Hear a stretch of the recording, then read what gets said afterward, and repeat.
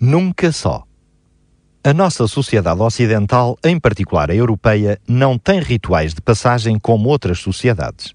Em África, na Ásia ou mesmo nas Américas, a cultura dos povos nas várias etnias está impregnada de rituais de passagem. Partilho consigo a fábula do ritual de passagem do índio Cherokee. O pai levou-o à floresta com os olhos vendados para o deixar sozinho. O rapaz deveria ficar sentado num tronco de árvore toda a noite.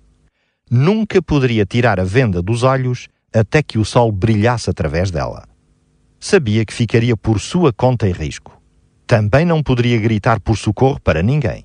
Se sobrevivesse àquela noite, então seria um homem.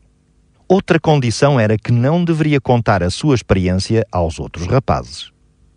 O jovem índio estava aterrorizado.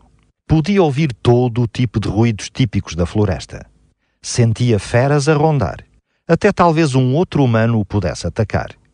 O vento forte arrancou erva, lançou terra sobre ele e abanou o tronco onde estava sentado.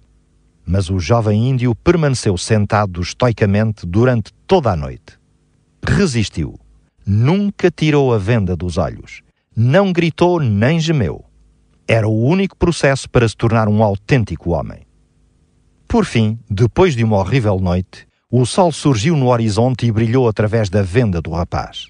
Só nesse momento pôde enfim destapar os olhos.